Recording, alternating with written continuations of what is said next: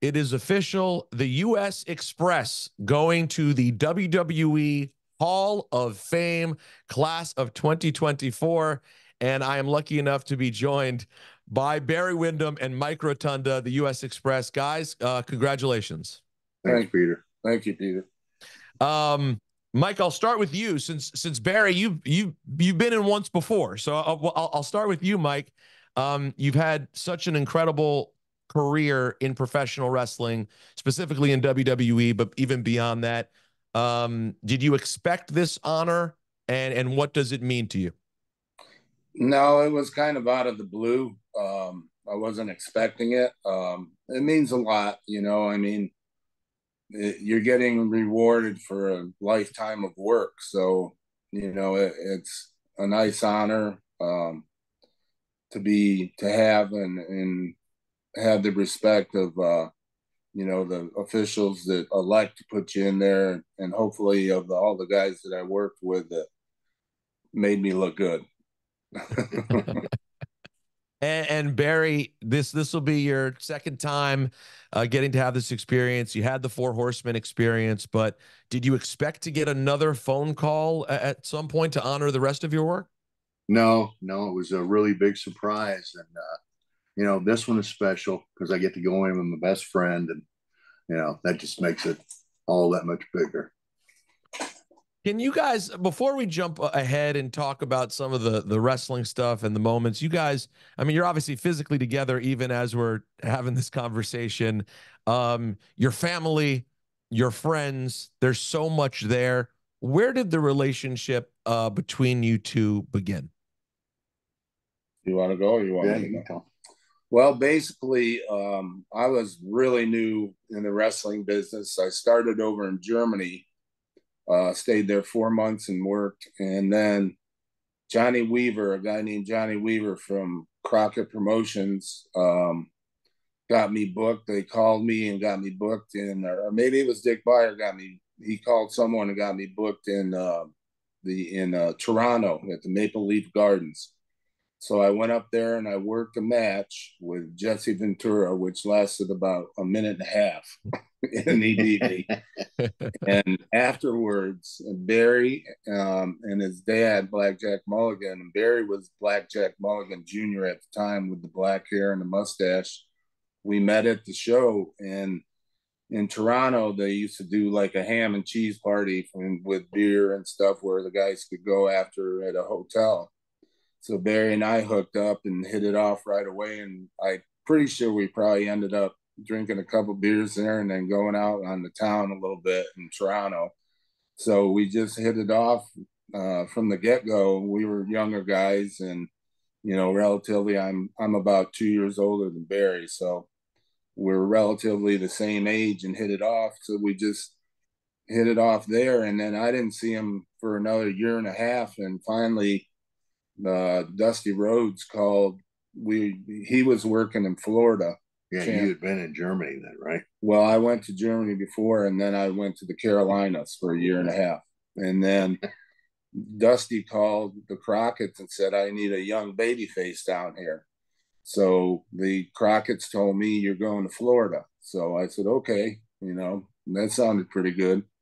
And we got there, and Barry was there, and Barry was, you know, well established. He'd already been working there probably three years at the time, and um, and Dusty ended up putting us as a tag team. And that was a good move on his part because we worked about 30 minute matches every night. Yeah. And Dusty would do the main event in the middle of the show and, and go about seven minutes.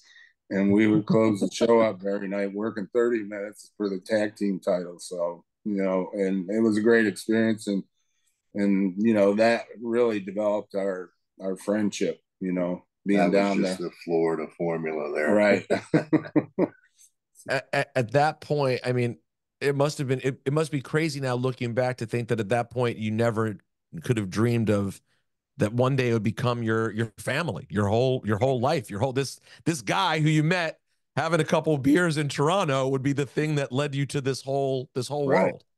Well, yeah, and it, it just so happened that his my wife of 40 years coming up in October hmm. came to visit him in Florida. Forty years. Oh yeah. and and we were married six months after that. So, you know, that's how everything got started. So, it, so, it was, so Barry, no second guessing. When did Mike come to you and say, "Hey, I'm thinking about proposing to your sister," or was it already a done deal? Yeah, he absolutely did, and he asked me if he should ask my dad, and he asked my old man before he went out with her. which was right which was a wise move since Blackjack was like six eight and three hundred and thirty pounds. Well, I was going to say, oh, and oh, had a mean temper. yeah. Of all the I got to say, it worked out so beautifully. But of all the father in laws to have to approach to ask for a hand in marriage, Blackjack Mulligan, I mean, that's an intimidating one, Mike. Right, for sure. but we were all working together. So we were all yeah. friends too. So it was good. It was easy. So, Barry, what about your foray into the wrestling business? Was it always a foregone conclusion for you that you were going to follow in your dad's footsteps? No, I was out at West Texas State. I was rooming with Kelly Kiniski, and I was uh, on scholarship for football there. And uh, going into my second year, I think they had a, a referee sick or something. I started refereeing, and on the weekends I would just travel and referee and haul the chairs, and then I'd started hauling the ring, and then refereeing every match. And So I mean, it just kind of took off, and and it was during the off season of football, so it kind of just took over, and I didn't go back. Um, and at what point did it did it become clear, like, nah, this is for me too. This uh, this is going to be my calling as well. Uh, I would say it probably wasn't until, uh, let's see, I left out there and came to Florida. I would say I was in Florida for about six months when I realized that I really, you know, wanted to do it and then it, you know, it would be good. So I would say the middle of probably early 1980. Because uh, I had match 79, I believe. Yeah. Did it come physically naturally for you? I mean, there is, there is a, that, that quality that exists and, you know, and of course we'd go on to see it uh, in your families as well. As the generations go on, there is an ease. I've always noticed this this sort of ease uh, in style of the multi generational superstars. Did you have that? Like, did it come to you naturally just from being Blackjack's kid? Well, I mean, I'm sure at first, and I know I was, I was clunky. One of the first times I worked out with my old man, I picked him up for a slam and I fell on him and dropped my elbow right in his eye socket. He had a huge black eye for a month after that. sure, you didn't live. to do that. Yeah, so I got one in on it. but yeah, I mean, I was clunky and and and hard to move around, but I mean, I figured it out after a while. I spent a lot of time listening to Dusty and Eddie Graham and you know all the guys I worked with. I listened. I was like a sponge and just tried to learn every match. He, I'm, I think he's being modest because he's like one of the smoothest guys I've ever seen in the ring. So, yeah, you you do have, you do have quite the reputation uh, for that, uh, Barry. Um, Mike, when did the call come from Connecticut uh, for you guys to try this thing with WWE? Well, we we worked. We went back up to Charlotte, and they were trying to go pretty much, you know, like nationwide, like uh, WWE was doing at the time. And it took off. We weren't making any money. And it just so happened that Blackjack had worked all those years in Charlotte for a guy named George Scott was the booker there. And WWE hired George Scott. So through Blackjack, we got you know, uh, Blackjack told, hey, these guys want you guys to come up there. And we'd had a good run, you know, in Florida for a yeah. good year, working seven days a week, twice each day on the weekend and putting in time and had our stuff down pretty, pretty good, you know. So uh, we got the call from George Scott and we ended up, I got married and about a week later started in WWE. So the only way I saw my wife was to bring her on the road, you know, and she wanted to go to California where she was born or or New York or you know the bigger cities. So I'd bring her when we were on those, and she'd come on the road with us for a week, and that was the only time because we that year, the first year in '85, we worked 300 days Uh, Easily, yeah. And uh, and that was mostly double double shots on the weekends. They'd run two shows each weekend, you know. So we were putting in a lot of road time, and there was no rhyme or reason how stuff was booked either because everything was selling out. It was hot. You might be in Texas one night, and then New York City the next night, and then San Diego the next night, then to um, somewhere in Canada the next. You know, it, it was just they. We'd go to TV every three weeks. They would hand you a stack of with a rubber band around it, your booking sheet and mm-hmm. your tickets. And the ticket stack was like this for the next three weeks. you just got on those flights every day at six, and sometimes you drove, you know, but it was mostly flying early morning flights to get to the next show. Yeah. Who who would you guys say were the is when you think of the US Express time in WWE, is there one specific tag team that comes to mind as your most regular opponent?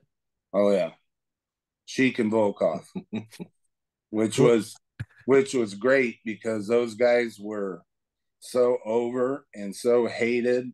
I mean, it was easy, but it was also very hard because there was a lot of like herding cats, huge cats. Barry would be on the apron screaming at Sheik or Volkoff throughout the match. like it, mm. it was, but it, the the fans were going crazy because they had so much heat.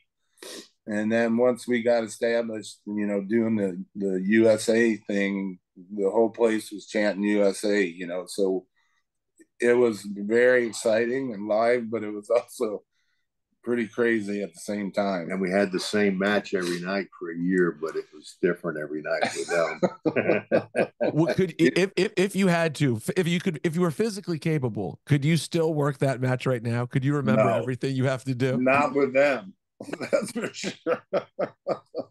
it hurt then and would really hurt now. We got um, there, there's a story. Can I tell a story? Yeah, please tell all the stories. So we're we dropped the titles to them at WrestleMania. That's right, WrestleMania one. Yep, and back then they they gave us like a week off, which was unheard of before you went back on the road. So the first show we worked back on the road was uh it was in Georgia. What where do they do the Masters tournament, the golf? Augusta. Augusta. So we're in Augusta. So we go there. It's the first match back after we did WrestleMania, like a week or 10 days later. So the finish to the match was uh, Nikolai. I, I was making a comeback on Sheik and hit him with something. Nikolai's supposed to make three saves, and on the third the third save, the ref called throws the match out disqualification.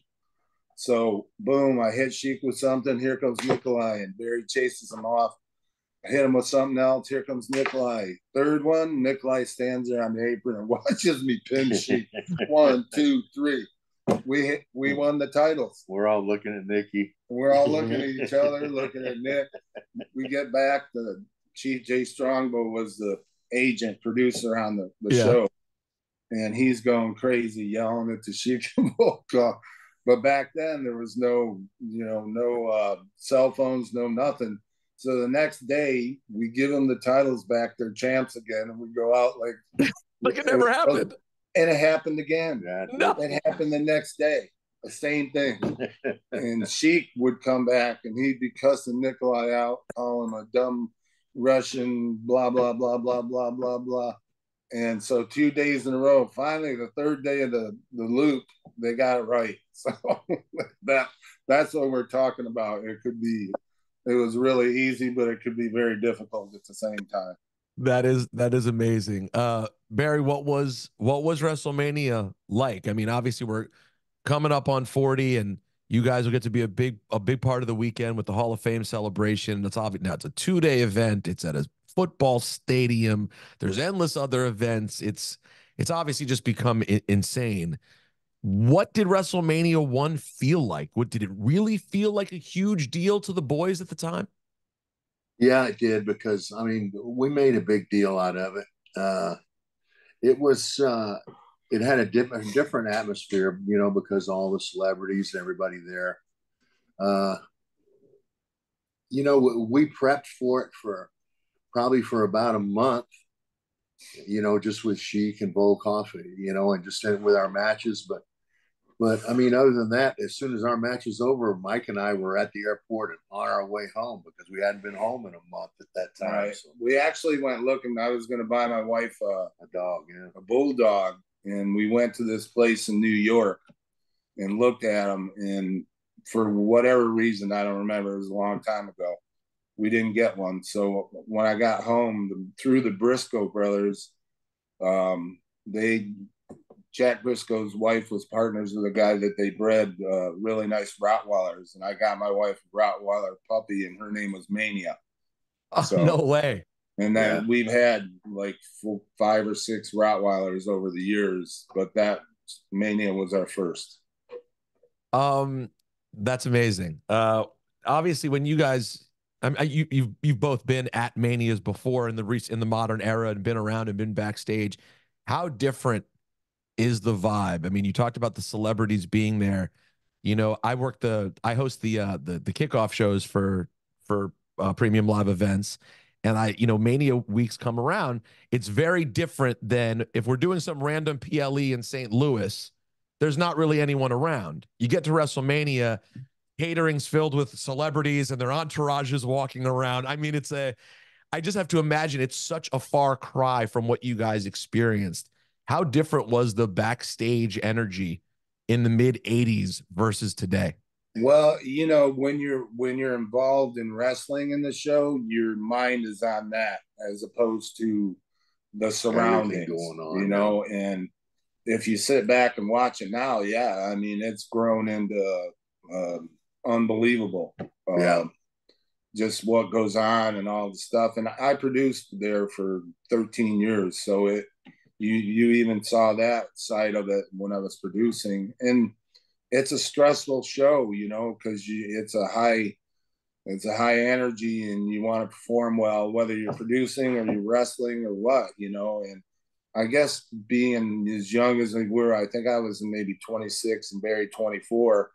We were just kind of zoned in and loose, and we just kind of flew up there. We flew up there the same morning to WrestleMania, which we were supposed to be there already, but we hadn't been home in forever. So we jumped on a flight to New York. We did the show and we jumped on a flight and shot back to Florida. So, I mean, it, it was a whirlwind day, but it was it was pretty cool. I mean, it was like, and nobody knew what to expect. I think you know. And then once the pay per view numbers came in, I mean, it was a huge success. You know, and now you see what it's built in. You know 40 years later, it's unbelievable. Yeah, there's so many moving parts to it that, you know, what we see is just a small bit, but the whole entire production yeah, is just huge. unreal. And, and, you know, to be able to grasp everything that goes on, I'm sure there can't be one person that runs all of it. Yeah. It's a, it's a lot of no, stuff. it's, it's a huge undertaking. That's for sure. Well, and now, of- two days of it. So Exactly. Um, it's even it's double the crazy. Speaking of backstage, were you guys backstage the day um David Schultz slapped John Stossel?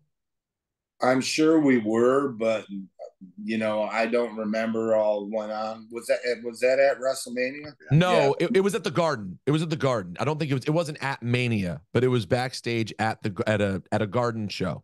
I don't recall if we were there or not because you know there was probably three sometimes four towns running a night. So you didn't know, you know, looking back, um, I'm not sure if we were there or not. Do you remember? We, do you remember the conversation about it. about it. Yeah, I was going to say. Do you remember the conversation oh, yeah. around yeah, it after? We about it. Yeah, we, we, were there. We were just in our dressing room down the hall, and it was just a little short interview, and it happened so quick and it was over before you know anything, and then it was just word of mouth through the dressing room. You know, and back then the business was protected. You know, a lot more now. Well, I I always sort of feel bad for. I listen. I didn't know the man, but I always kind of feel bad for for Dr. D because I kind of felt like he was doing what he thought and was the right thing to do in that moment, and then it, right. in the end, it kind of ruined him long term. But I kind of felt like it wasn't that kind of the right thing to do as far as you guys were sort of trained at well, that point. That, yeah, that's at the time for sure. You know, you protected the um, yeah, protect like uh, back before we got to New York and WWE.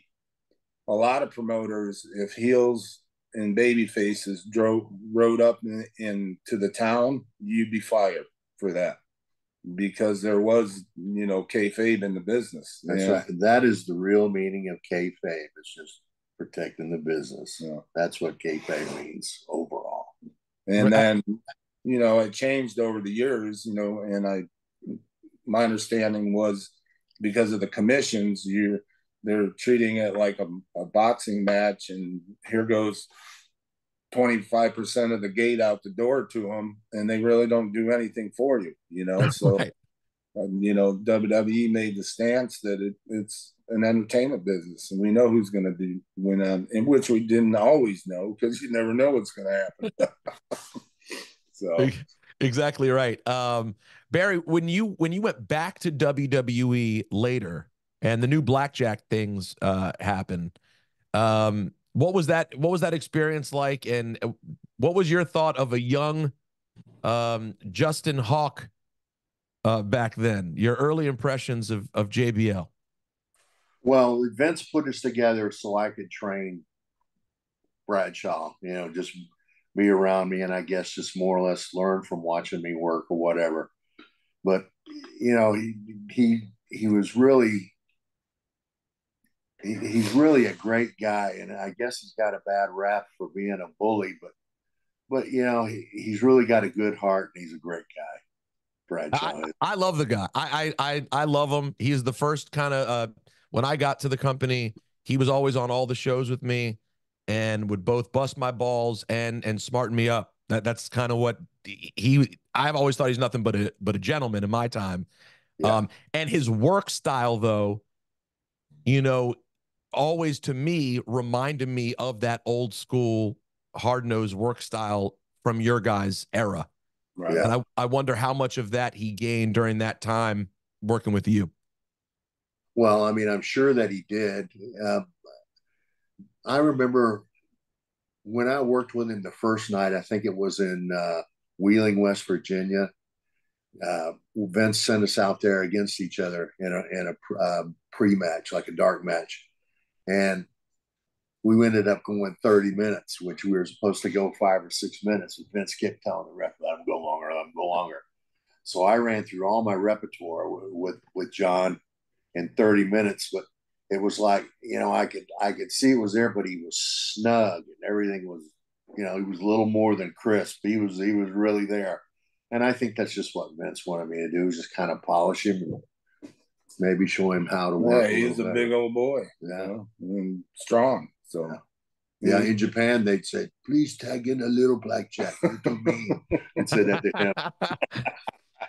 him. uh, Mike, for you, present company excluded.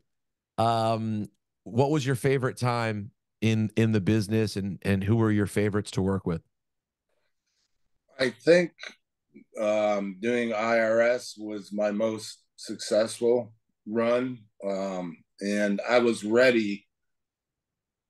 I started the, at the varsity club to that was the first time I worked heel, which I enjoyed the varsity club. We had a lot of fun. Uh, Steiner and I and Doc, Dr. Death and Spivey was in there for a short time, which Kevin Sullivan was our manager in the varsity club, which made no sense, but it was like we were had the devil coach, you know but it was like it was a different kind of gimmick because nobody usually if you were an amateur everybody tried to be the all-american guy and we were just the all-american assholes you know thought we were better than everybody so i had a lot of fun with that but um, being irs uh, one of my favorite guys to work with of all time was big boss man he was i just enjoyed we had so much fun and and uh we were in the ring in St. Louis on an afternoon show. We had a double shot,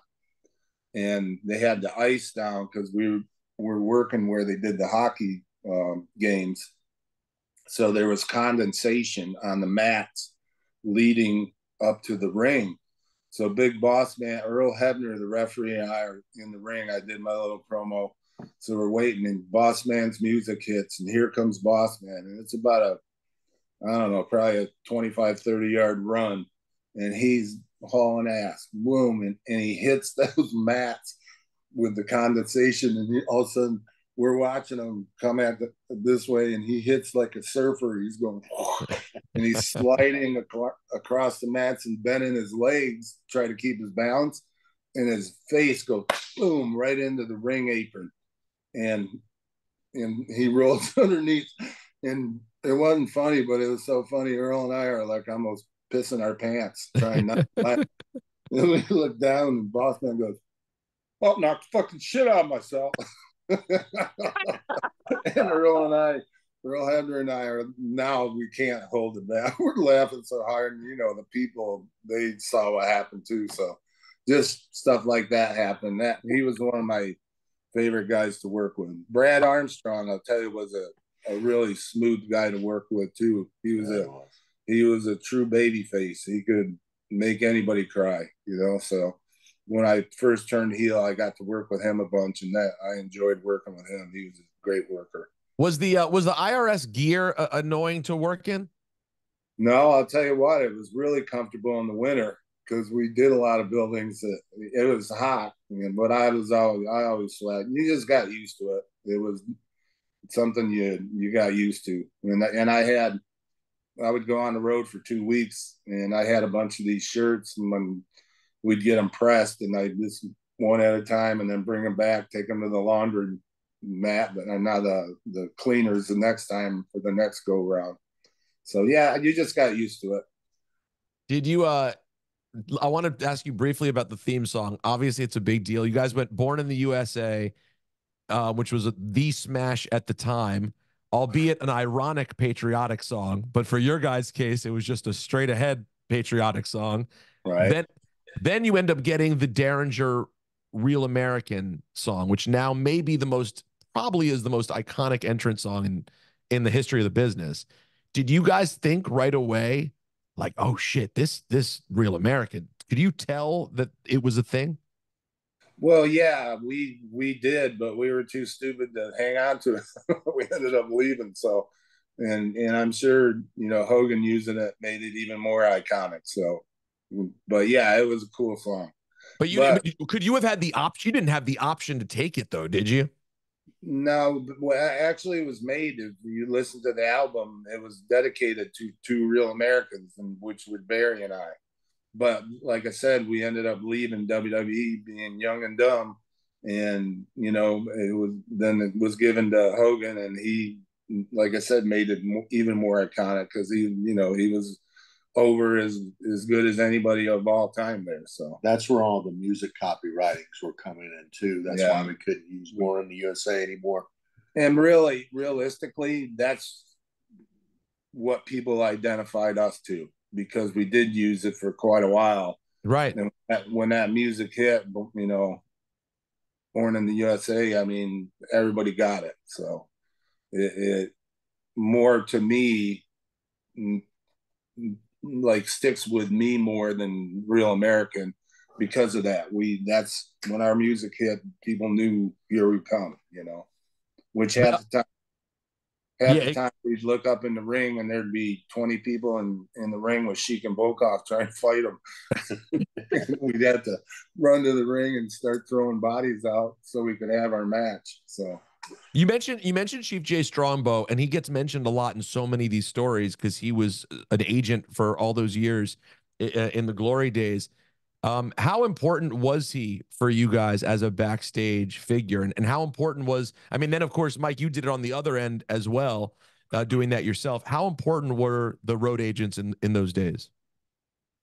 Yeah, they were. We had uh, Blackjack Lanza, Rene Goulet, uh, George the Animal Steele after, uh, later on. Um, Tony Garea. Garea. Um, Arnie you know, Yeah, Arnie Skaaland was around a lot because he handled like the money and stuff.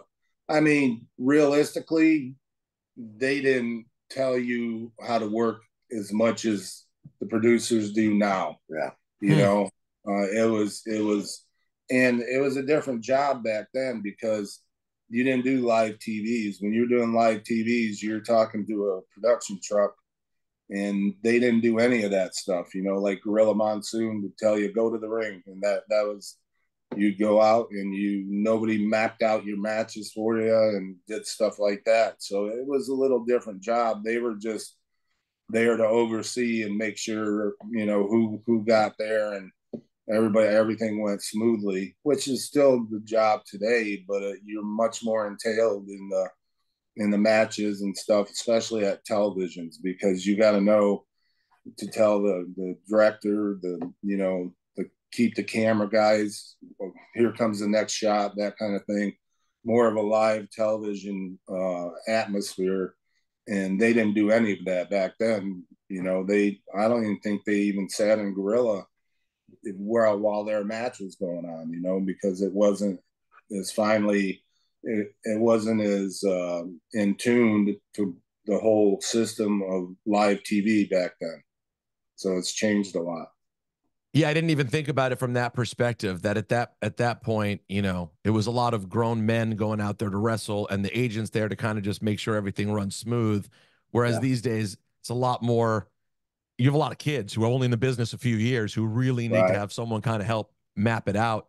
Uh, what was your Mike? What was your last year as a producer in WWE? Um, I think 19, 2019 when COVID when COVID hit, they furloughed a bunch of people, and I was one of them.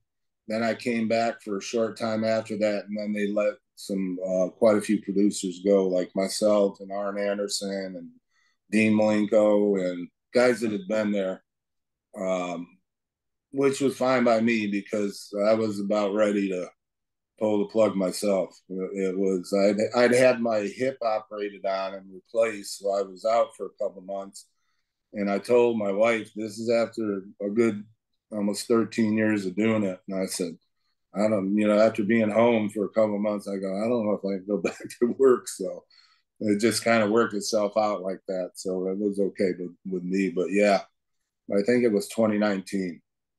How how much uh, involvement when when Bray came up to the the big leagues? How much involvement did you have professionally and how much personally would you just pull him aside and sort of give him insight?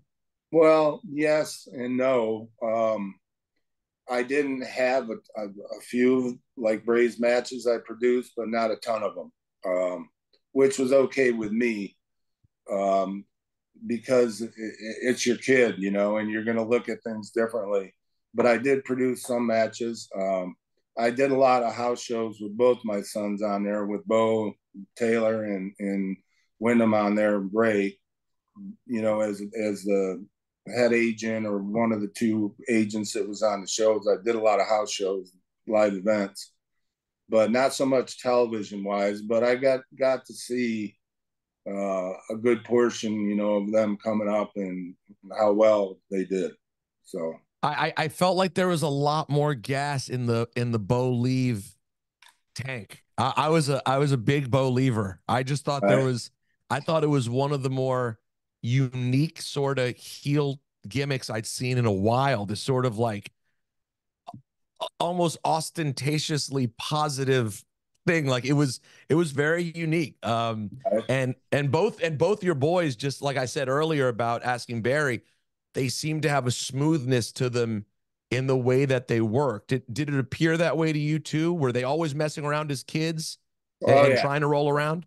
yeah, they had they had the living room and, and my daughter would film the matches and they'd had we had some titles that we had you know at home and yeah they'd get dressed up and put on a show and film it you know? So they they were around the business and and at the time i didn't let them watch supposedly but i think they still were a lot of the stuff that WWE was doing because it was so risque with the with the girls and the you know and uh, just the stuff they were doing and they were pretty young at the time but I'm sure they they saw a good portion of it when I wasn't watching so but yeah they they were always you know I mean and that's a natural thing you your uncle your dad your grandfather your friends that come over they're all wrestlers and stuff you know and you're just around the business, so I'm sure you get glimpses. I remember I was working for uh, WCW, and they used to film TVs in uh, Disney and at um, Universal, you know, down in Orlando. So I took the kids there sometimes, uh, Windham and Taylor, and they were in the ring with the Uso brothers, you know, in the in the daytime, jumping off the ropes and having a practice match. So when your dad's in it, you kind of grow up around it, and you're exposed to it. So, and I do, I think, I think both ways. Like with Bray Wyatt was one of the the Wyatt family was one of my favorite gimmicks of all time, and both boys, I think they could have got a lot more mileage out of the Bray Wyatt, the Wyatts, and then also with Bo. Bo was the youngest NXT champion they've ever had, you know, mm-hmm. and he was probably 18, 19 years old. He he caught the business quickly. well, the rumor and the rumors still pop up about uh, uh, Bo is like a const constantly in the rumor mill about what will what will happen next with with Bo. It doesn't seem like that story's been written yet. Right. Well, hopefully it'll it'll get written shortly. So. And Barry, for you as their uncle from afar, watching from a, a distance, were you how impressed were you with what Bray and Bo were able to do in in WWE? Well, I mean, uh, they're both so talented, and it's just you know now uh, Taylor Bo is you know is going to get a chance, and we'll see what he can do. Yeah, I, I I've always I was like I said I was always a big fan. Um, and you know, I'd be remiss to not tell you, you know, I I was lucky enough. I don't know Bo well. I, I was lucky enough to spend uh, some some nice moments with with Bray, and he was uh, just an absolute gentleman. I just uh, a real treat, a real treat of a human to get to be around. So uh, a credit, a credit to you both, um, guys congratulations. I'm excited to shake your hand in person and congratulate you in Philadelphia. But this has been a treat for me and my audience and uh, well deserved. Congrats on the Hall of Fame. Thank you, Pete. Thank you. Thanks, we guys.